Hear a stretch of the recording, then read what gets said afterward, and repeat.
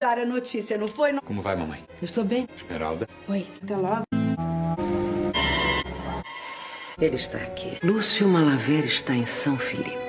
É tudo pra ver a cara dela. É, foi máximo. Tua sogra, então. Eu me diverti muito. E o meu sogro Ele viajou, levou o netinho conhecer as terras. é exatamente por isso que o Dr. Malavé precisa exigir os direitos dele. Por que, que você acha que o Rodolfo viajou para descobrir que o Dr. Malavé continua no povoado? Mas se eles querem tanto saber, eu devia perguntar pra mim ou pra você.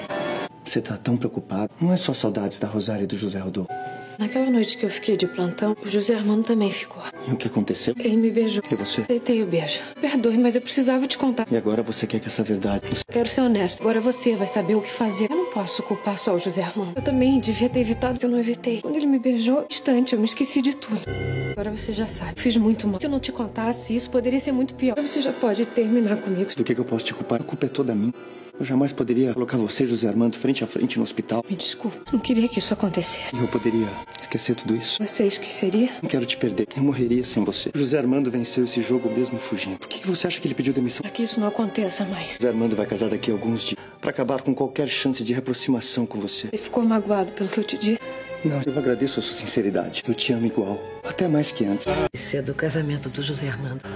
Eu também fiquei. Não queria que isso me afetasse. Você não conseguiu nem disfarçar. Eu mesma, eu esperei por um milagre. Por de pai falasse mais alto, ele procurasse o seu filho. Que coisa impossível, não gosto de te ver assim. Jurei pra mim mesma que eu nunca mais ia sofrer pelo José. Eu não consigo. Parte o coração ver você desse jeito.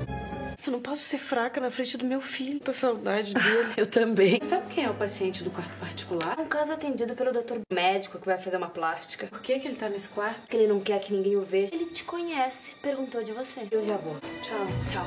Meu Deus do céu, é ele. Se você vai se casar comigo, você esqueceu a Esmeralda. Que ela não faz mais parte da... Por que, que a gente tá falando sobre a Esmeralda? Você quer tanto que eu a esqueça Por que você é a primeira a tocar nesse assunto. Você tem toda a razão. Esmeralda.